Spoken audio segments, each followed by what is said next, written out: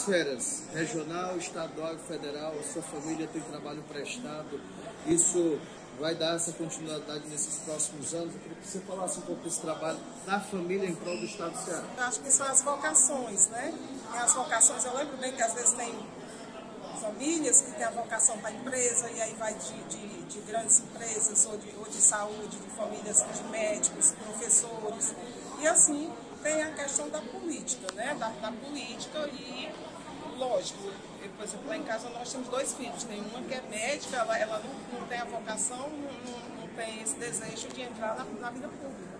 Mas o Domingos Neto, nosso filho, já já é, herdou essa veia mais política. Então, junto com o Domingos Filho, que foi presidente dessa casa por duas vezes, vice-governador, presidente do tribunal, é um, é um homem é, que sabe articular, que tem essa, toda essa, essa noção de gestão da política, com equilíbrio, com conhecimento do Estado do Ceará. O Domingos Neto já vem dessa, dessa nova geração, já aquele funcionário pela juventude, pelo talento, da, da, inteligência, das boas ideias, muito trabalhador, tem também ganha, ganha, é, ganhado um destaque em Brasília, como relator do orçamento da União, como líder PSD, vários, várias, fizeram várias comissões importantes, adquiriu, apesar da sua pouca idade, uma experiência muito um espaço muito bacana em Brasília, que com certeza vai nos ajudar, porque os recursos de um município, por si só, existem as suas limitações diante do, do da, da, do tamanho do, do, das nossas responsabilidades, responsabilidades e do que tem por fazer.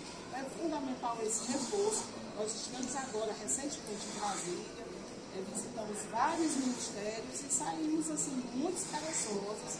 É, lá no município de Itauá, e não só em Itauá, mas nos demais municípios que são representados pelo Ministério como deputado federal, é, terá esse parceiro lá é, junto ao governo federal para poder é, somar esforços e, a, enfim, e buscar também recursos para fortalecer as nossas ações na política municipal. Aqui na casa, o seu partido tem a maior bancada feminina, a sua eleição tem a diferença da chapa ser genuinamente feita por mulheres, e você falasse da importância da valorização do papel da mulher na política.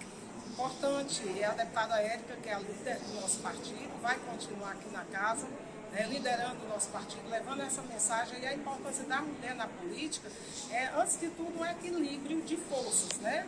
Porque existem visões diferentes, com todo respeito aos homens, mas enquanto o Brasil, a Câmara Federal, o Congresso Nacional, as câmaras municipais, as assembleias, tiverem uma composição majoritariamente masculina, vai ser uma visão também masculina. Então, nós temos as nossas peculiaridades, a nossa, a nossa forma mais sensível de ver as situações. Então, é importante a presença da mulher nas tomadas, de, nos papéis, na, na política, que e para as tomadas de decisões, né, com a nossa visão de mãe, nossa visão mais, mais feminina, nossa visão de, de, garantir que é importante a mulher, a oportunidade da mulher no trabalho, da mulher na creche, ela, ela nas políticas públicas é, de forma mais humanizada, de menos violência, de mais tolerância. Então, a, a gente estimula muito para que a mulher participe, tenha gosto, tenha ânimos e participar na política. Então, a sociedade também tem que, que ajudar. Tem que ser uma sociedade mais tolerante, né? Sem tanta agressividade, porque isso aí também afasta a mulher, porque ela também já é uma opção de vida, de, se, de, de abraçar a causa pública, ficar um pouco distante da família, e a mulher às vezes teme de vida que ela que às vezes surge né, de forma injusta e desumana que ocorre na política. Então, a nossa expectativa é que o PSD, através da deputada Érica, continue levando e vai levar a mensagem para todas as mulheres cearenses representando aqui o nosso partido.